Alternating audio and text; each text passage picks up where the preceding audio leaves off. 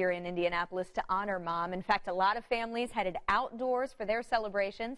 Anna Carrera talked with people who spent the day together at the zoo.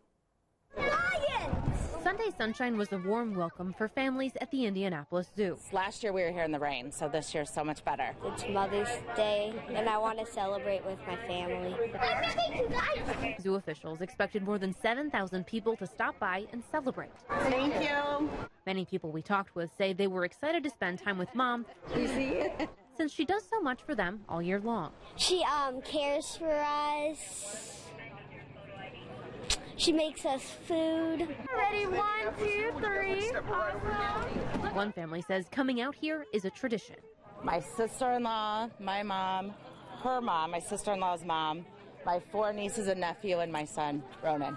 For five years now, these moms and grandma leave dad at home and hang out with the kids. I think AJ, my sister-in-law, had the idea one year, and we had so much fun. We just keep coming. We love spending time together. We try and get together, you know, every few weeks, and this is a great place to bring your kids. So, and they always have fun. Happy Mother's Day. Plenty of people stopped to pose and capture the moment, and families had the whole zoo to explore.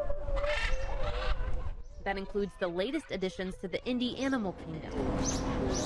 Twin baby lemurs, just born last month. Um, it's just a really fun time to spend time with my boys and how much they mean to me to make me a mommy. Some moms were getting fresh air after adding another little one to their family. He's two and a half. Two and a half. And then we have a three week old in there. You want to go see penguins first. Whether new moms or seasoned veterans, they were all grateful to enjoy the sights with the ones they love. Happy. Reporting in Indianapolis, Anna Carrera, Channel 13, Eyewitness News.